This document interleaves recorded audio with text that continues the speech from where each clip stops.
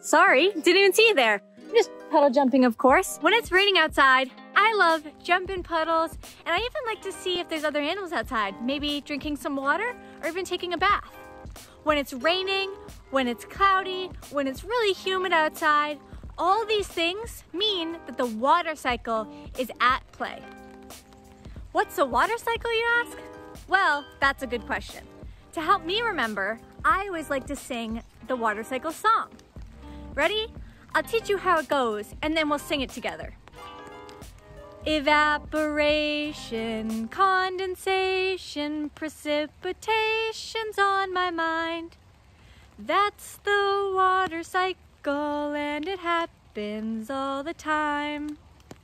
Evaporation is the process when liquid water from oceans, rivers, ponds, lakes, even puddles, you name it, change into water vapor. That mist that you can barely see and floats back up into the sky. Condensation is the opposite of evaporation. It is when water vapor, that mist, turns back into liquid water. Precipitation is when water is falling from the sky in either solid or liquid form. Solid form would be snow, hail, or ice, and liquid form would be rain. To help you better remember this song, we can also add signals using our hands. So I'm going to sing it one more time. Evaporation, condensation, precipitation's on my mind.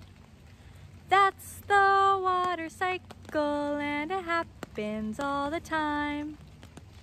Sometimes when the water cycle's at play and it's precipitating like it is now, raining outside, it's nice to stay inside, snuggle up, read a book, maybe drink some hot cocoa. But I challenge you to get outside next time it's raining out in your area and play. Play in the puddles, explore the wet leaves and the wet trees, see what kind of critters are finding shelter in the bushes, and have fun exploring.